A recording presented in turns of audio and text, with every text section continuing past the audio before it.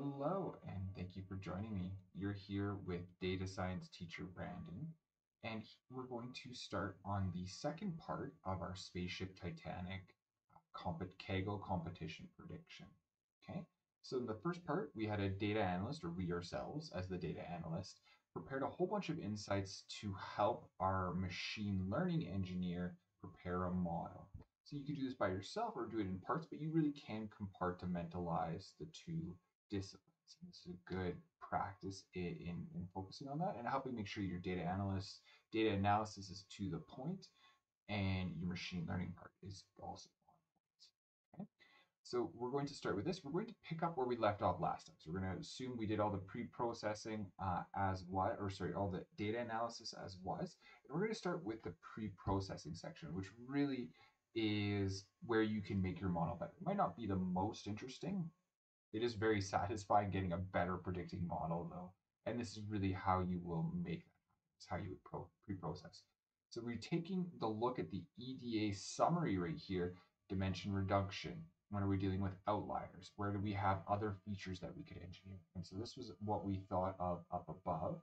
And we'll do here, standard pre-processing, though, we want to make sure that we deal with the null values. So is null sum. We have a lot of null values in our data set.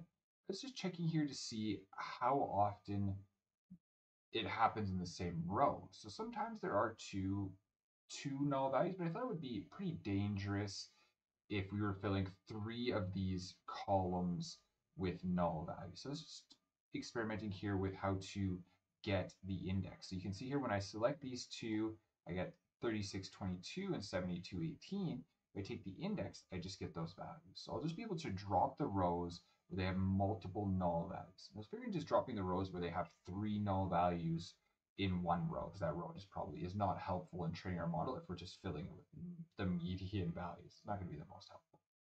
So what I did here then is create a, a fairly complex triple nested loop, not so complex when you break it down, to then drop or collect the index values of the null values where it happens three times, and then we'll drop those and then we'll fill the rest of those null values. So what we're going to do here, we're going to go through all of this together. So we're going to go column one. So our first column in df columns. So we're going through all of the list of columns. And then for column two in columns, in the df column. So we're going to take all the list of columns, we're going to iterate through that, and then we're going to iterate through the second list of columns. And we're going to go if column one is not equal, so exclamation equal signs, not equal to column two, then we'll go into this next step. And then for col three, column three, our third column that we'll be leading through in our from all of our list of columns as well. And then if that third column is not equal to the second column right here. We'll get this, okay? And then this is all great, so we're just making sure that we're not looping through where it's all the same column across the row, because then all we would drop a lot of values. We want to make sure that we're only looking for where each row has a null value in three separate columns. That's what the not equals to is for. Okay, and then we're going to go do here is we're going to go logical indexing, so we're putting these inside parentheses right here. You can see this is null. So if the first column is null, and that right there, and then if the second column as well, and the third column is null. So we'll do that. We're going to check for all three of these. We don't really need the whole row. We just want the index numbers. Okay.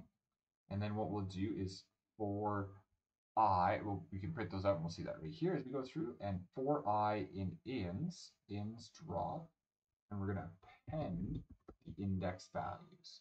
So we have a list that we created up above, a blank list that we filled up with the index values that have three or more. And so there's not many that have three, but there are a handful.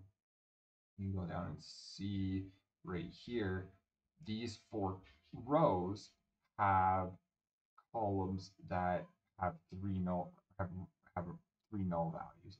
So there's quite there's a handful. Some some of them have quite a few. Some of them don't. But I thought it would be bad to train a model with basically filled values, the median value usually. So uh, it does not usually work the best. And so here is a way to get rid of those So we prevent so much bias from sneaking into our modeling. Okay, so then we'll just do simply, so we have our ins list that we want to drop. So we'll go df drop, and because we're just doing from the index values, we don't need to set an axis. And then you'll see here, this will go to shape. Let's make sure we run this one up here first. So let's run this one right here and that will run and then we'll drop those rows afterwards and you should see that our shape has decreased our number of rows has decreased not too much but a little bit okay and we can see here that we've lost 184 rows not, not too much but a little bit. So we got rid of those really those ones that will add a lot of bias that would be a lot of trouble for training. Okay? Or could potentially add a make our model less predictive on new unseen data that isn't filled with just median values. So going through here, what we're going to do next is we're going to go through a loop and we're going to fill the median for numeric and we're going to fill the most occurring value for the object data type. So we'll do this all in a loop. We'll do the whole data set all at once together. So what we're going to do here is we're going to go four feet in df columns. So we're not going to do the cabin ones but we're going to go four feet. So we're going all the way except for the last two, the cabin zone and cabin code that we engineered. If feet not in this list, so in these ones is here, so including cabin here, we'll go and if the data type, so d type is equal to float, float, we're going to go df feet equals df feet equals to dot fill na, and we're going to fill that with the df feet, and we're going to fill that with the median. Okay, we're going to do else if else if that feature data type d type is equal to object object, we're going to fill the na, so fill na, and we're going to go value counts. So value counts. And if you remember value counts, if you've ever seen us use that before, it puts the value. So if it's, let's say, man and woman, if it was gender, is going to put those in the index value.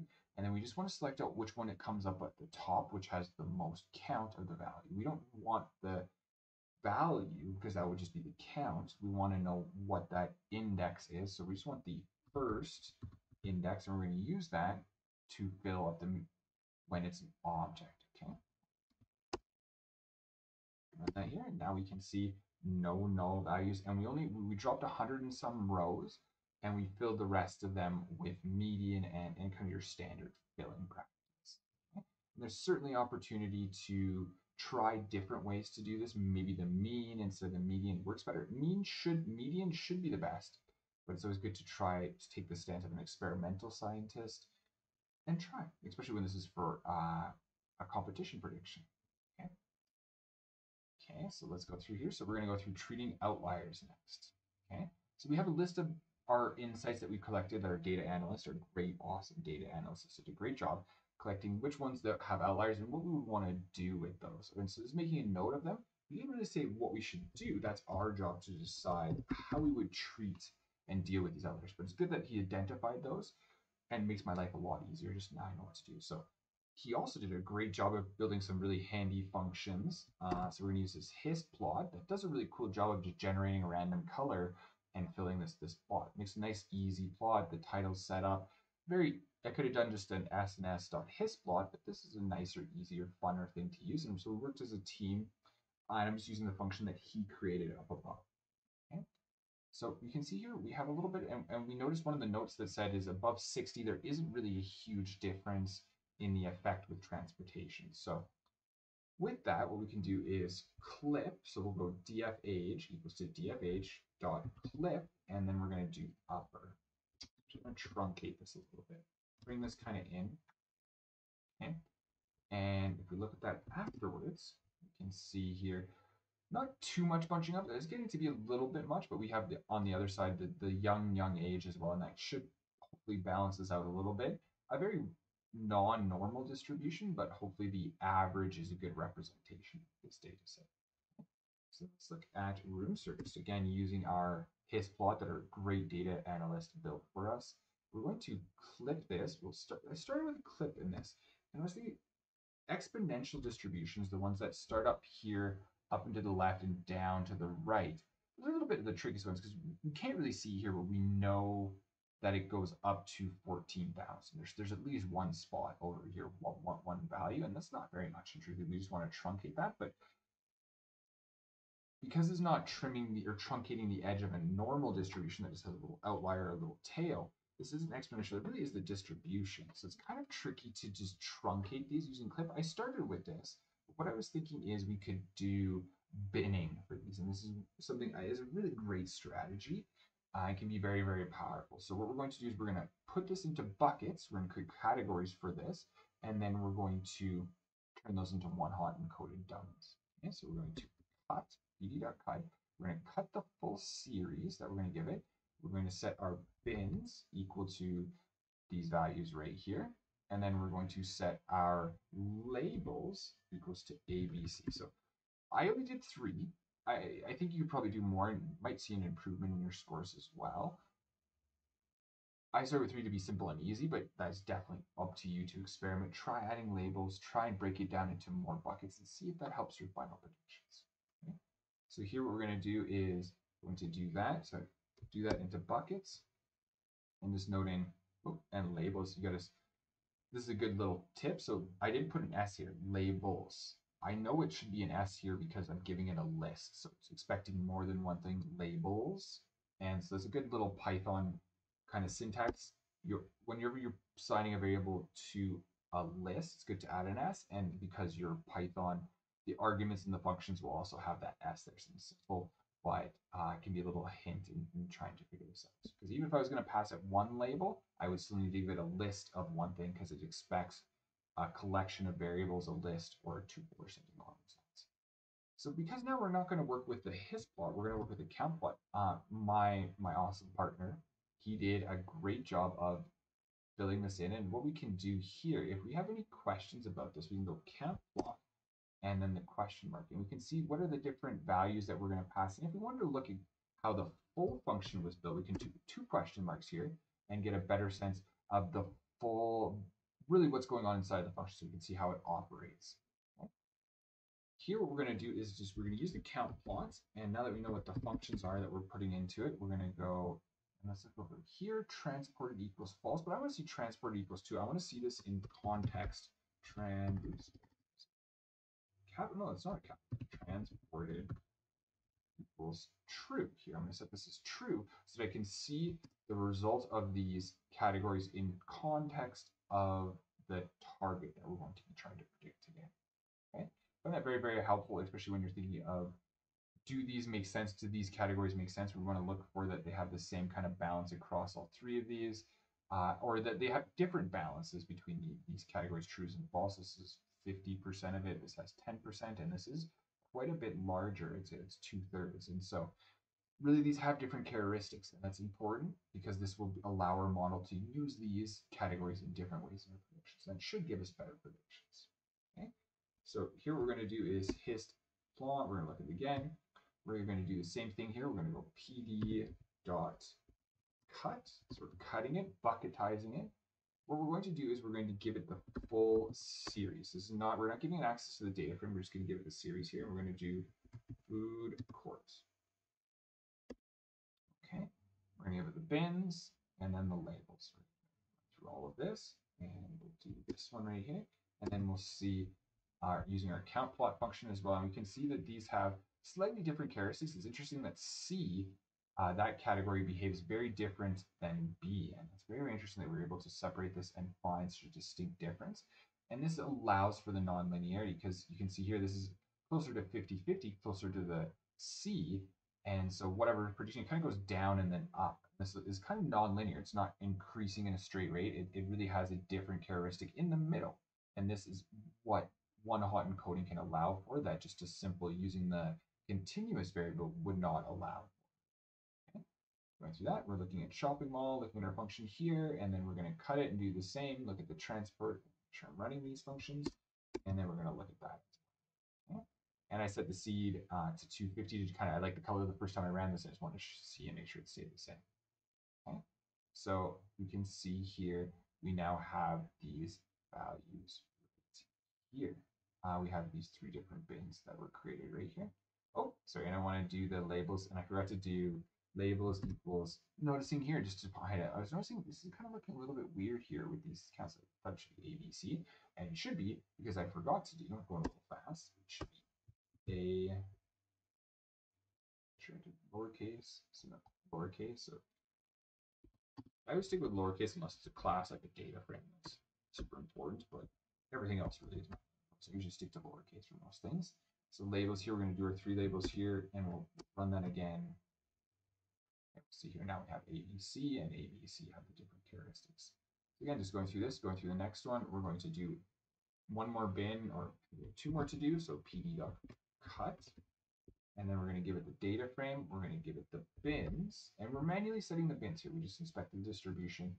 That can be a good idea. You consider it as with an exponential distribution, I would say it's hard to automate this process, it's really good to inspect it and see how you want to set these bins, these outside edges. So just highlighting here, we have we have three bins. We're creating three labels, so we're going to have four outside edges. So if you have one bin, you're going to have two outside edges and so on. So you're going to have one more outside edge than you have label or, or bins. So one more bin outside edges, then you have the labels that you're putting in something to keep in mind, an easy way to remember that.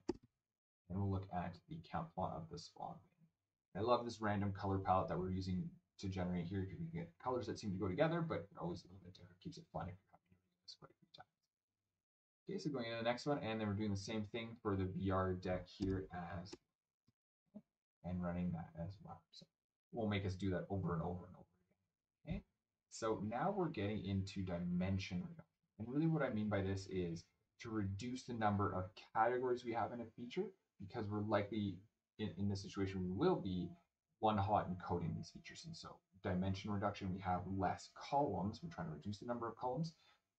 We're, we're kind of taking it we're, we're preventing the amount of columns from getting too large or features from getting too large. So here we, we can see here that these categories showed no real destination and there's really no change for PSO so let's inspect the PSO in the destination categories. There's no change in regards to that one for true or not false. But the, the truth is, I actually couldn't find when I was going through this. There was no real clear way to decide if I should move PSO in with Cancri or with Trappist. It didn't behave like either of them. You can see it's really the difference between transported when they went and left doesn't really make a difference. And so I decided to leave it as it was and not make a change here because these two are being used in different ways. These two categories will be used by our model in different ways when we create the one hot features from them.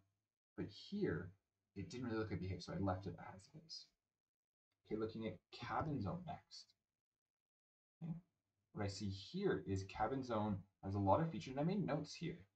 G, T, A, G, A, 0, and T don't really show a difference. And so you can see here, 0, so zero difference, zero difference, really zero, and, and all of these kind of show. So I'm just going to replace A0TG with A and put those together and replace all those to kind of reduce the amount that we have.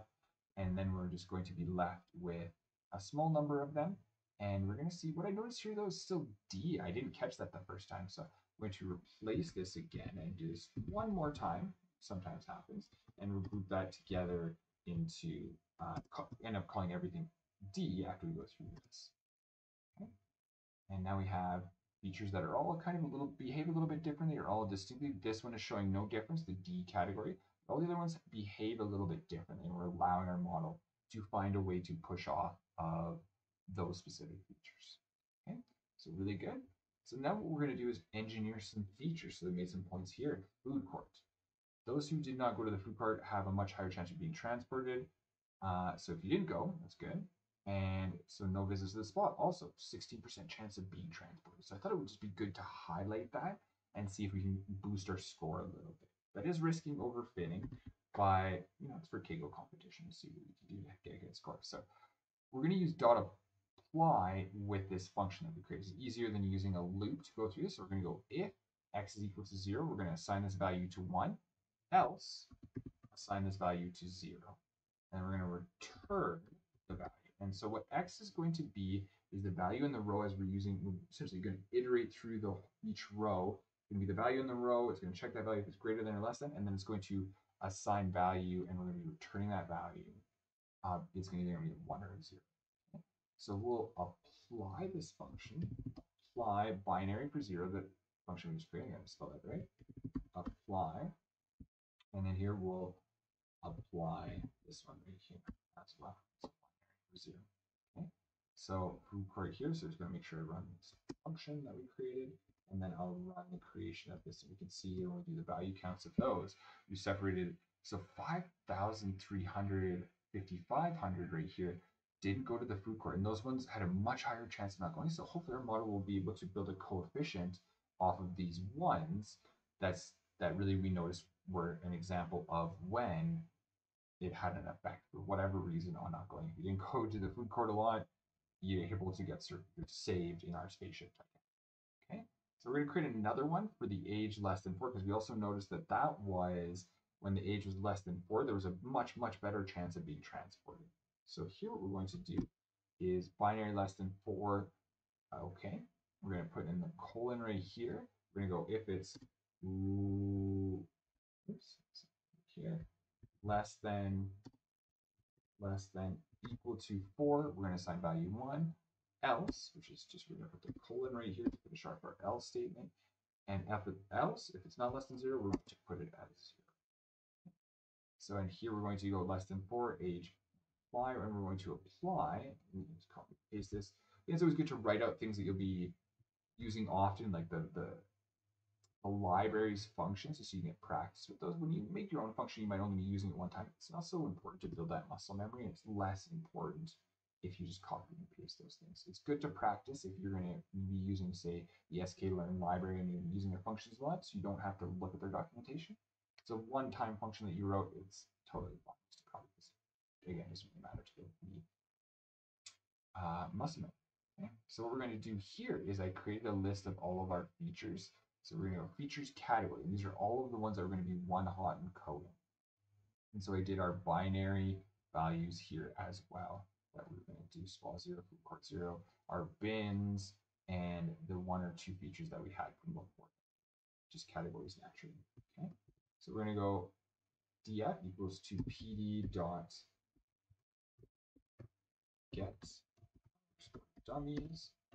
And what this is going to do, we're going to give it the full data frame, and we're going to tell it the columns here again with the S. We're giving it a list of the features we're going to be doing it. So here's going to be processing all of these features. And you see after we run this, we now have 48 features. Okay. So can be really big, and this is why we did as much as we could to reduce the dimensions, and why I only bucketized into three categories, because 48 is getting a little large. We do have actually quite a few rows, but 40 is still quite large, and it might be better to see if we can even reduce that. We might get a better score if we reduce that down. Okay, so now finally get into the modeling section. Okay, so here what we're going to do is we're going to go df.columns. And the reason I run this is I want to take a look at all of the column names. I usually just copy and paste this and make sure I'm being good and copying and paste the correct ones here. Don't don't copy and paste the target into the features.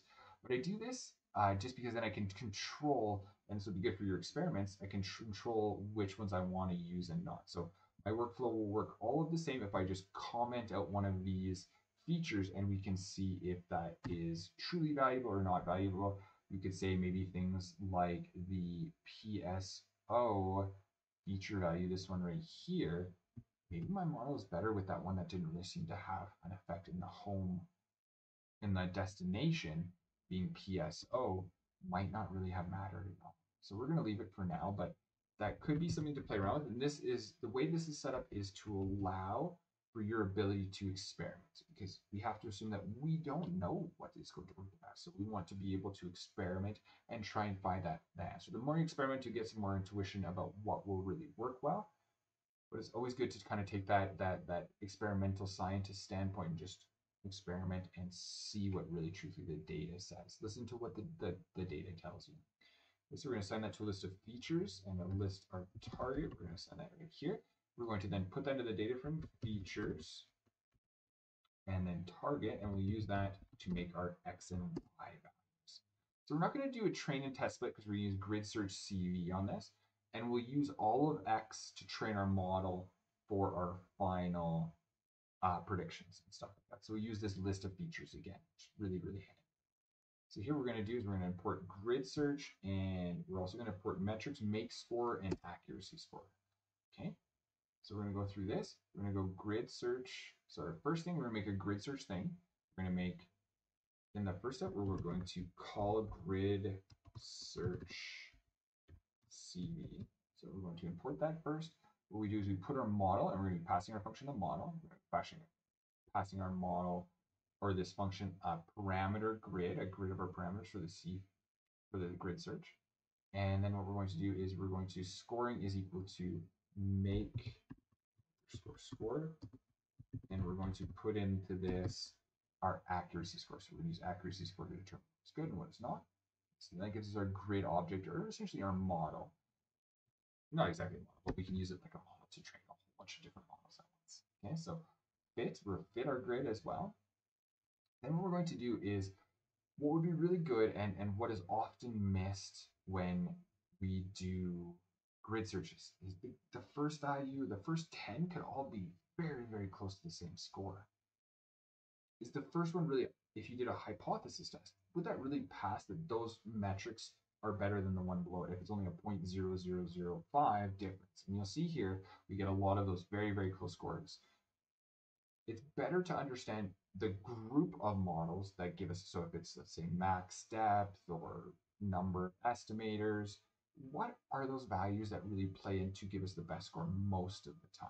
And so it's really good to understand not just what the best, best model is, to understand what the best models are and really choose the features that are more robust that could give us a better answer because we might find things that really don't seem to matter. A good example is subsample in gradient boosting really didn't matter. We could use whatever size we wanted and really seemed to make no difference.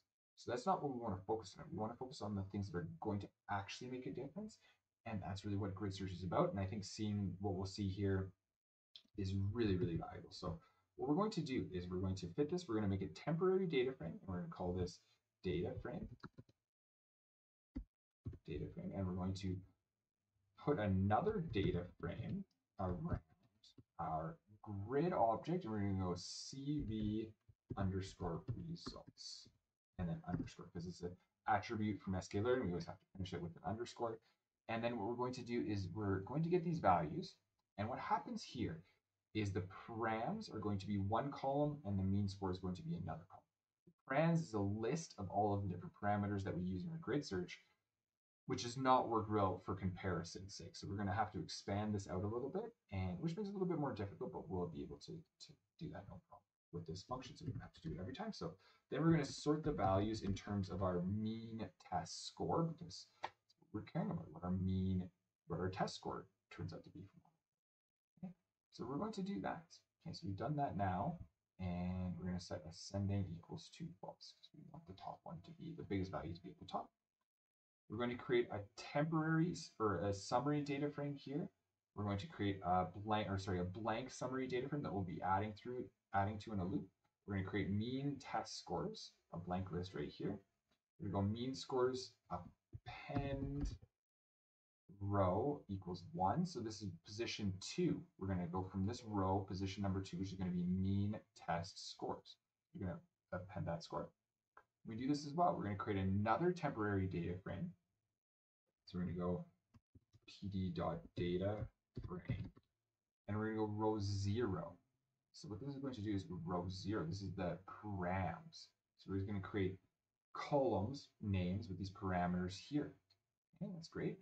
And then what we're going to do is we're going to create a temporary data frame, and we're going to concat this data frame. We're going to go df underscore summary. And so the blank is blank data frame here, we'll start filling it up. And just like we did the blank list, and then we're going to put in our df temp. Okay. So we'll do that.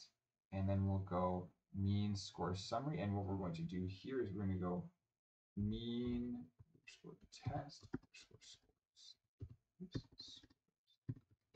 Okay. So we're going to put that in there. We're then going to go reset index. We're going to reset our index. It's get messed up here. And then we'll print the head. Then we'll look at doing a pair plot. So we'll go here. I think it really turns out to be quite cool. Pair plot. Go data equals df summary. Hue equals because we have some some features, some some parameters that are just um, object type categories, and so we can change the color of our pair plot by those and see to get a cool extra effect.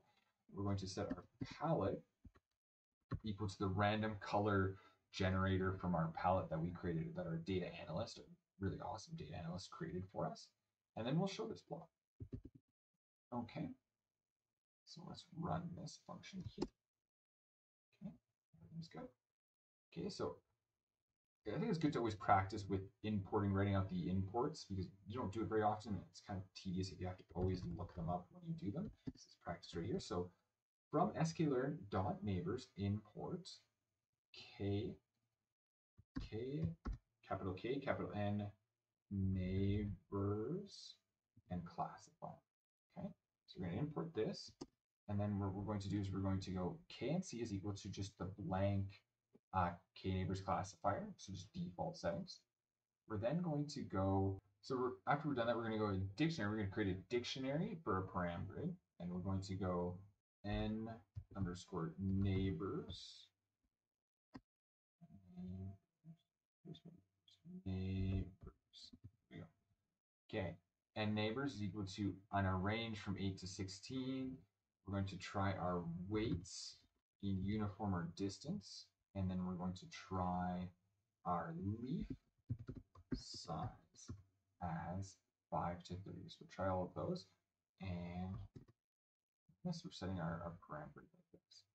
And what we're going to do here is we're going to call this function grid underscore search, created up above, and we're going to give it our model, so KNC. And C.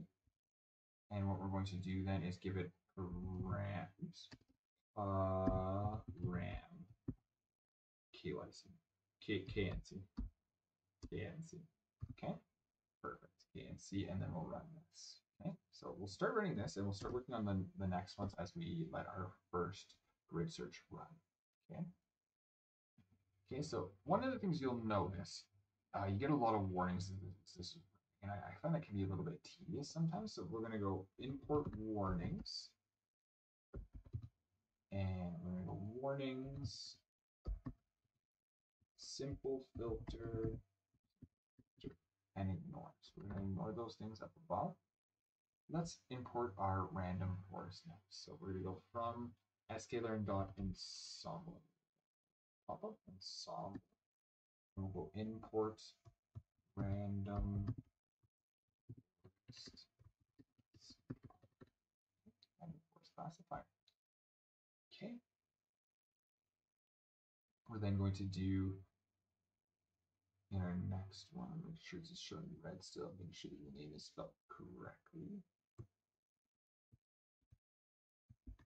There we go. I spelled classifier wrong. So it's good that I noticed this is really helpful that Colab highlights when things are called for that don't really make sense. Okay, so here what we're going to do is we're going to go n underscore estimators. We're going to go, we're going to go here max going to go min samples leaf. And then we're also going to do our criteria, criteria, criteria. Okay, so we're going to try these few right here. Okay, and so these are going to change your colors, and we go through this. I'm not going to run this right now, It's just going to take a while because it's running up above. RF, and what we're going to do, we're going to go RAM RAM underscore r. This is the parameter that we set up up above. You can see the first one stopped running. And so let's, let's look at our first, let's get our second one running as we go through this.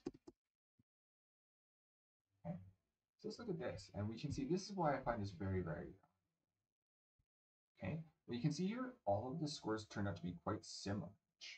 Kind of a little bit concerning. You can see all the first 10 scores did, did exactly the same 0.75. Not the best, but we did all the same. You can really see that uniform weights made the difference in our mean test score all the way to the right. Really, that made a big difference. Almost always, all things being equal, it seems to produce a better score. You can see that n neighbors, we can see that as it increases to maybe, let's say 12 or 11, lot better, and then really it stops improving in terms of our mean test score. And we can see that leaf size really kind of uniform across. It really seemed to make no difference. That's really important to understand. Not just that this leaf size that was our best model by default really doesn't matter. So we want to understand that when we're building our final model for predictions or putting our model into production. What really makes a difference in our model? What makes it robust? And so we can see that weights always was the best. K neighbors, 15. So it did make a difference having more neighbors. Although you could even say 13, 14, 15 really didn't make a very big difference. And so this could be very, very interesting. We know that that's a robust number. We know that leaf size is a little bit, we have a lot of wiggle room in terms of what we could use for that. So that's one of the reasons that I find this technique in terms of understanding our grid search can be so valuable.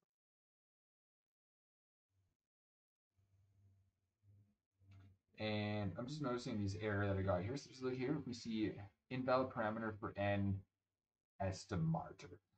uh, so it's supposed to be estimator. I'm just going to copy and spell this because English is tough sometimes. And so we'll run that label. So n estimators, n estimators is what we need for this. Okay. And while our random forest is starting, our grid search is starting on that, we, we're going to have to wait for a little bit. So I will probably come back to this when we're done. But I think I've explained really good what we're looking for and why we want to keep, why we want to look at the full grid search and not just the final result of it, because it can be a little deceiving. Okay, so here what we're going to do is we're going to set up another grid search for gradient boosting classifier. I just defined this a little bit differently, the dictionary, the parameter, just to show a different way to do this. Just we're going to do it in curly brackets as a dictionary instead of in the dict function in Python. Okay, so what we're going to do here is we're going to do our next one here is we're going to, as a string, learning rate. Doing that, we're going to do our n estimators. Try to spell that right this time. And the last one is our max depth. Okay, so let those ones run, and then we run our grid search down below. We're gonna see this. So just in the interest to have something to talk about, I'm gonna not let this run. And oh, I'm just noticing one thing right here. I forgot to do this right here. And Google Colab to the day is telling me I forgot something. To put the arrange, NP arrange, starting at this number up to this number by step of 0.05. Okay. And so this is really good. So this again shows us what we're seeing here. So to analyze this, I would always look at the mean test scores. That would be the most important one to understand. We can see that the deviance, exponential, or loss, it didn't have a huge difference. Deviance tended to be the best one, but it's very marginal how much it is better than the other two. What we can see here, though, is the learning rate. We can see that at a lower learning rate, we got we could still do really well, but we also had a chance of getting a very bad score. And then that kind of went away. And then as we started increasing our too much, we started still potentially getting good scores, but potentially getting worse scores. So give some context to what is actually the best learning rate. Maybe somewhere right in here, these two would be better. 0.1, 0.01 or 0.1 might be better than 0.2 because we have a higher chance. You can get a higher score and we have a better chance of getting a higher score on the bottom side as well. You can see that's for n estimators as well. It did really bad when it was under 200 and then it starts to go up. But I would say something like 350 really gives us the most confidence that we're going to get a good score most of the time. Our model is almost always going to work well for this one. See the same thing for max depth. At a certain level, really, I would say almost two or three max depth right here tends to be significantly better. It can be a little bit bad though here sometimes. So something to be cautious of. But most of the time, it's very, very much robust compared to say 11 max depth over here, which is really giving us not a terrible score, but almost an always worse score uh, than the rest much tighter. The range of the scores is less, but it's not doing so well overall. Okay, so really good. We're going to do the next one. uh, logistic regression. I like to try just something simple as well. Maybe it does better. It usually doesn't, but it might do well. And so here we're going to import from sklearn.linear model import logistic regression. Okay, so we're going to import logistic regression. And then what we're doing that here is calling that. We're going to set our penalty to L1, L2 elastic net, and then we're going to set our L1 ratio ratio to 0 to 2 just to try and turn out how much we're focusing on one versus the other. And really, logistic regression being such a simple model didn't really have a huge impact on the final score. We can see here, really, really nothing made a huge difference. I would say linear model, that's not our best model. Or sorry, logistic is not our best. And we're also going to try here ARD regression to try and see if we can get a good one out of regression model and see if this works well. I like to try this just in case. Sometimes it does, very, very rarely, but just to practice another. My favorite linear model uh, is so much better than just regular linear regressions. It's good to, always good to try. It's very impressive how well it works sometimes. Okay, so regression not the best though, so we would not expect this works well, but just again to show another grid search here. And there's not too much we can do for this. We're just going to normalize this. And I would say this is one of the few models that almost always the default settings work better than the um, than really playing around with it. So just kind of leave it as is the best one for ARD regression. And then we're going to put ARD into our grid search here. Okay, what I what I do last is I make a list of our model names, and I'm going to make a list of our data frames that we created that, reduce the summary statistics. It's nice seeing them all next to each other. I want to see them all together and really see which one works the best. Now the problem is, is we don't have the name of each model in in the model. So what we need to do is just add that quickly, and we'll do that in a quick loop. So we're making these two lists. We're going to go for M comma model and then M for model and then data for our data frame. Just call it a different name. And here we're going to zip. And zip allows us to iterate through two lists at the same time. What it's designed for. So here we're going to go through model and data frame at the same time. We're going to go data, which will be our data frame. Each time we're going to create a new column in that, and we're going to assign it to our model name. So it's going to create a reduced name, and we're going to have our column with model and the model that we're looking through each time. Okay, we'll do that. And then we're going to create a summer. We're going to concat all of those together. We're going to cat all of these data frames together. We already have this list from above. All we've done is add the model name to this. So we're just going to concat those. And we're going to go across axis zero. So we're sticking them together vertically. And really what's interesting here, you can see here that random forest did really well almost always. And I, so I would say random forest are best model. It's consistently done the best. I would say that when we look at the criterion for this, we can see that Entropy did really well. And we can see that our mean test scores are really not, there's no way those would pass a hypothesis test, that they're statistically different. But we can see Gini did really well most of the time. Uh, in, in large parts, I would probably use Gini here.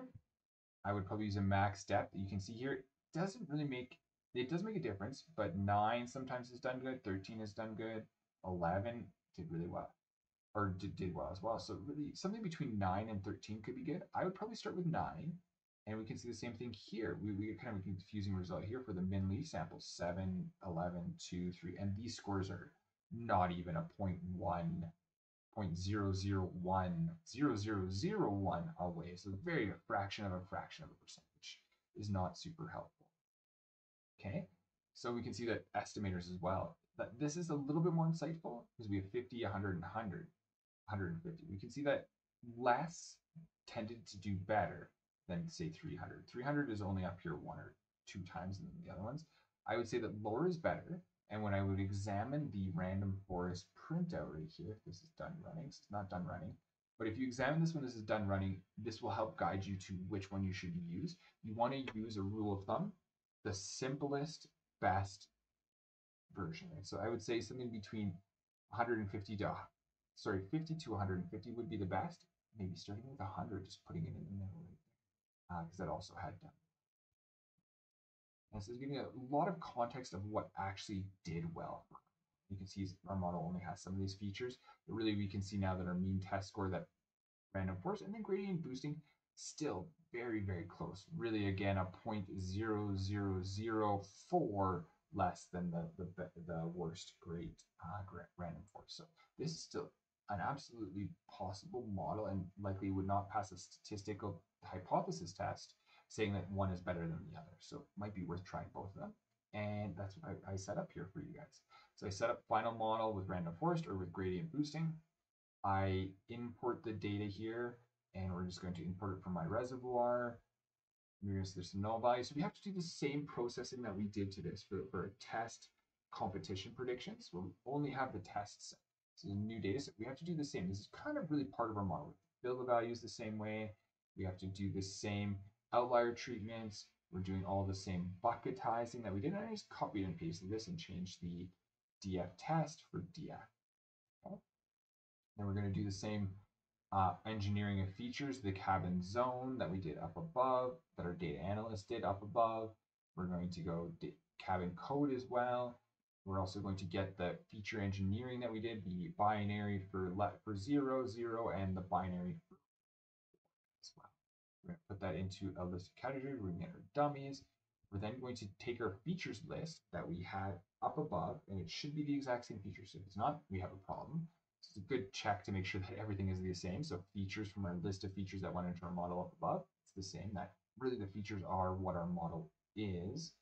And so we're going to go assign that to x test. We're going to fit it to our x and y. So we're using the x and y from the first up above the first time we did our modeling set, the split, the x, y split here. We use those to train our model. We're going to set x test sum, and we're going to check make sure no null values. We're going to predict right here off the X test. We're going to set up the Y predictions. We're going to put our Y predictions into a data frame. We're going to call that data frame tra transported, and we're going to just replace those uh, values ones and zeros with trues and falses because that's what they wanted for the, the, the, the format they wanted for the predictions. We're going to set another column to passenger. We're going to take this from our original, the not the original, the test data frame, the passenger IDs, and put that next to our predictions. Put that x axis one, which is going to stick them together sideways. And then we're going to create uh, a CSV file, name submission, call whatever you want, and then go there. So what this is going to do, you'll see it under your folder. It'll appear right here. It'll appear in your your your your your Colab the file. You can download it, and then what you would do is you go to submission predictions, and you can submit. I have another one ready here. Let's see what else I downloaded and submit my predictions right here. And I'll put that in and I'll submit this. And we'll see how well I did. Dun dun dun. See if last as I had already tried. I was curious to see how well I did. And we can see I got 0.77. Not truly not not not very great, but let's look and see what everyone else did. So let's go. You can see here the best score. So really point point one better. That's a quite better score, but you can see that drops off very quickly and then most of the scores are really about a 0.8. So really we got a 0.3, 0.4 less than the bulk, really the seventh place kind of for, for many, many scores.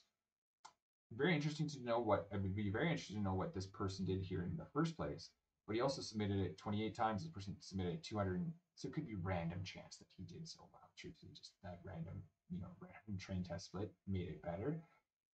But here what we're seeing is that really the bulk of the scores is 0.8. So we did quite well, although our predictions, if we got it, jump to my score, I'm in 1600 place, which is, you don't have to be far off on the top score to be quite far down. So you can see here, you good.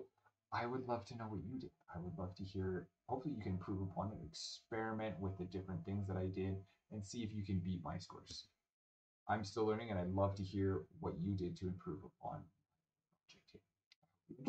and I will see you next time.